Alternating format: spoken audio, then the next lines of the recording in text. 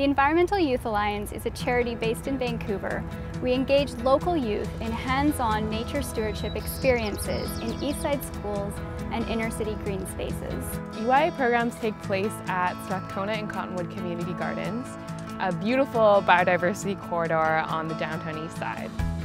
Our programs help youth to discover a new appreciation for nature while focusing on three areas of change. First of all, connecting young people with nature to grow a bond with the natural world. Second, we also aim to connect young people with their community. Third, our programs connect young people with skills in nature stewardship and community leadership. Before the program, I would be like kind of like an, a very indoors kid. Like I would play video games and just like stay inside all the time. I'm excited to go outside now.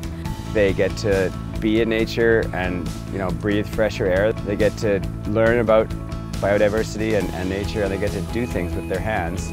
All those things make them feel better and when you feel better, you get better. We believe nature has the power to transform lives and to help you thrive and that a new generation of healthy, engaged, skilled environmental stewards is exactly what's needed to help nature flourish for the benefit of everyone.